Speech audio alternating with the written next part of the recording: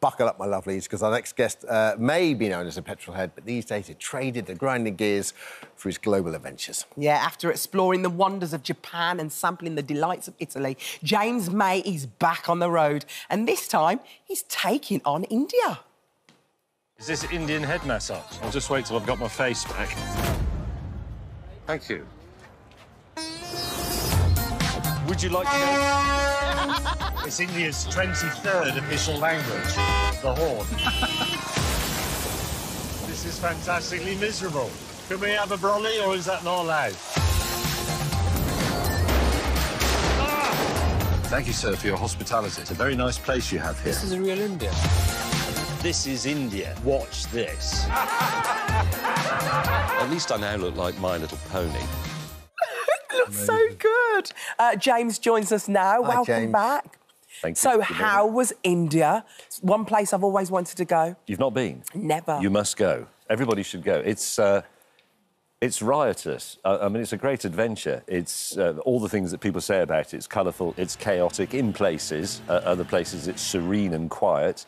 It's um, it's it's not as scary as people imagine. You should, it, it- just go and, and let it happen to you. It's Well, fantastic. I've just seen you at the, the Holi Festival, Yeah. and that is one thing I've always wanted to do. What's it like to, to be involved and everyone throwing Well, don't wear your best that powder clothes, on you? yeah. Really? No, uh, the powder. It's it's basically um, we used to call it poster paint powder, and it, it's- it's all related to um, Hindu myths and so on about people painting each other's faces. But but essentially, you you throw coloured powder at each other. It was a very difficult piece to camera to do because we were behind the big riot disco, and I knew we'd only get one chance because as soon as I went out to try and tell the story about the legend and the Holi Festival, people would start throwing the paint at me. So obviously you can't then say, "Oh, well, I've take two because I'm already covered in paint. Your paint. version of that guy with the with the rocket years It's ago in Cape it's Canaveral. exactly- Yeah, not, not quite as impressive, but James Burke with the with the launch at Cape Canaveral, exactly. And also, of course, the camera and the sound guys. They knew as soon as they went out, Yeah. they'd get maybe half a minute with me before they were covered in paint, and the camera was covered in paint, Oh, and yeah. the sound boom got paint on it. I mean, it all it can all be cleaned off, but Is it easy to come out? except in your hair. So I ended up with hair was sort of yellow. You see it later on in the show, and I say I look like My Little Pony, and I do. And it's sort of yellow with a bit of green and a bit of purple, and it simply wouldn't come out. And I said to the director, "We'll, we'll just have to carry on, and you'll have to you'll have to show it in order Well, it's the because truth. Yeah. Yeah. because this is what happened." But after a while, I began to quite like the look, and I thought about having it done again when I got home. Yeah. And Bit of James, yellow. India is such a, a wonderful mesh of religions and cultures and different peoples. Was there anywhere that you found to be your sweet spot? Was there anywhere that you really loved more than, more than anywhere else? Well, I like. I mean, for excitement, uh, uh, you know, the, the sort of the bustle bit. So Mumbai, obviously Delhi, and you go into the Chowk and you do the street food and and um, and you wander around the old colonial bits. That's all fantastic. But I actually like places like Udaipur, and and I like the Sundarbans where we went down to see the tiger Yeah. business. Um, because that is very idyllic and, and the, the colours are beautiful and, it, and it's quiet. There's no cars there, so you don't get the constant eh, eh, eh Yeah. that, that you get everywhere else in India. Um, but Udaipur is, is a, I suppose you'd call it a small town, and it's, it's quite romantic. You can just go walk around it or go around it on a bicycle, and, you, and it's, just, it's just the real life of, Mm. a, of a sort of nice, nice Indian town, very picturesque.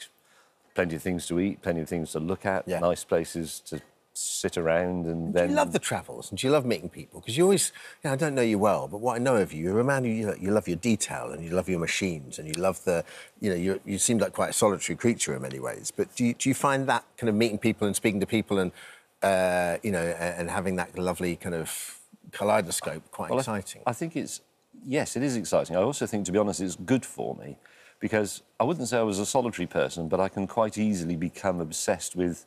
Richard Hammond always mocks me for this very small things and staring at them for hours, you know, like the inside of a clock or a penknife or something. So, actually, it's you know being being out there with people I don't know and having to um, you know, respect cultures, remain polite, and so on. I don't really have any difficulty doing that, but it's slightly outside of my natural comfort zone. Yeah. I'd say it's it's That's gregarious. Good so. And uh, hopefully that's part of what makes it work, because I think people sense that, oh, here go- James is going to go into the Holi Festival, and he's going to get covered in paint, and that's not what he'd normally do. And no, that's true. It's not what I'd normally do. Oh, it's what we love But it's about you. great. We, it's what we love about you, though. And I know you've been to India before uh, with Top Gear. And do you prefer it this solo adventure? Are you preferring this a lot better without the boys there, Oh, yeah, distracting you? It's just, I can, but nobody, I can just keep talking. nobody can stop me. well, apart from the director and the sound man and the camera people and everybody else who constantly interrupts and tells me how to do it. But yes, it's it's it's nice. It's nice having the other two.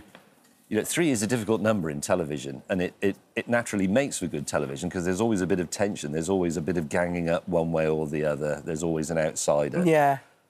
but you have somebody to bounce off and you know we have our natural differences which is what makes the the, the supposedly legendary chemistry of us three work but when you're on your own mm. Yeah. you can you can you can do what you want We have to ask you about, you- is it Tollywood, which is the Bengali language rival to Bollywood? And you did a bit of acting while you were out. Or smell a BAFTA.